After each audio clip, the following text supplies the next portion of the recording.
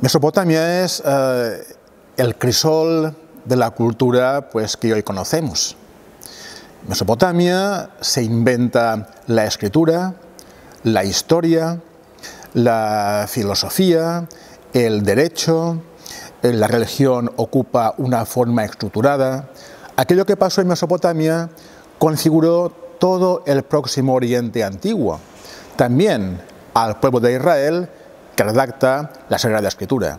Por tanto, para comprender bien la Biblia, es importante situarla en el marco cultural en el cual nació, y ese es Mesopotamia. Saber su historia, su cultura, sus leyes, eso es muy importante para calibrar la hondura teológica de la Sagrada Escritura. Esta obra, ¿qué es lo que aporta? Tiene, para entendernos, como dos niveles. Uno es, mm, tiene cada capítulo dos partes. La primera es una parte de tipo académico, en forma de un manual, que explica la historia de Mesopotamia, es decir, su geografía, después su prehistoria, los sumerios, los acadios, los asirios, los babilonios, cuenta la historia y su literatura.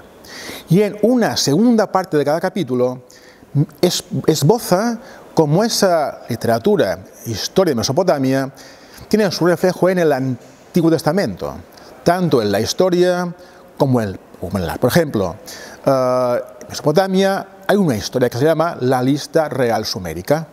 Ellos inventan la historia haciendo pues esta lista, lista real sumérica.